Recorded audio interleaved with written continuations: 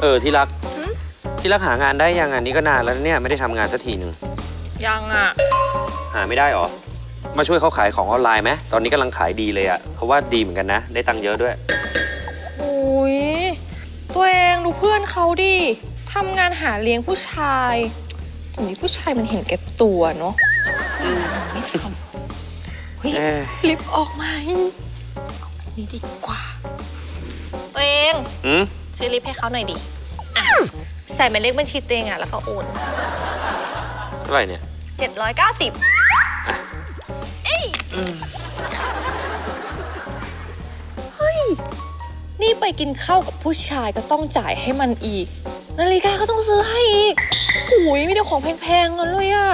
ทำไมผู้ชายงานการมันไม่ทำวะ เป็นผู้ชายก็ต้องดูแลผู้หญิงดิอืมจริงๆเฮ้ย จองวันนี้ ลุ้นไปเที่ยวญี่ปุ่นฟรีสองที่เองอืม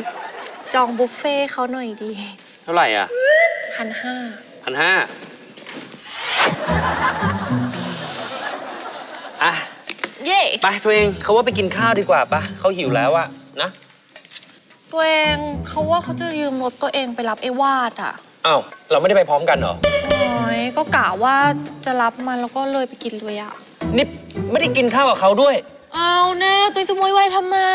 ตัวเองอย่าเห็นแก่ตัวสิ ไอ้วาดนะมันเจอผู้ชายเห็นแก่ตัวมาตลอดแฟนมันเห็นแก่ตัวมากตัวเองเหรอ เออ ตัวเองขับรถเข้าไปอ่าส่วนเขากับแท็กซี่ ใช่ เออฮะเขาลืมไปตัวเอง ว่าเขาลืมจ่ายค่าคอนโด เอาโทรศัพท์มา